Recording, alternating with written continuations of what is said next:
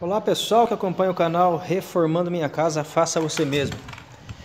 Pessoal, mais um vídeo aqui, ó, instrutivo para vocês.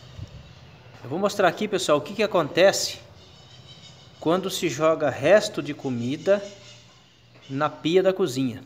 Resto de comida, gordura. Às vezes acontece de entupir o encanamento, às vezes a pessoa não sabe por que que isso acontece. Então, pessoal, nunca jogue resto de comida na pia da cozinha.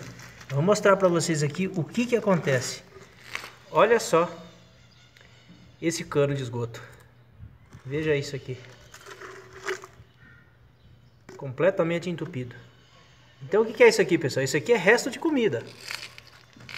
É resto de comida, arroz, feijão, até, até, tem até um pedaço de cebola aqui. Então nunca faça isso. E você vai ter problema no seu esgoto. Olha isso daqui. Completamente entupido.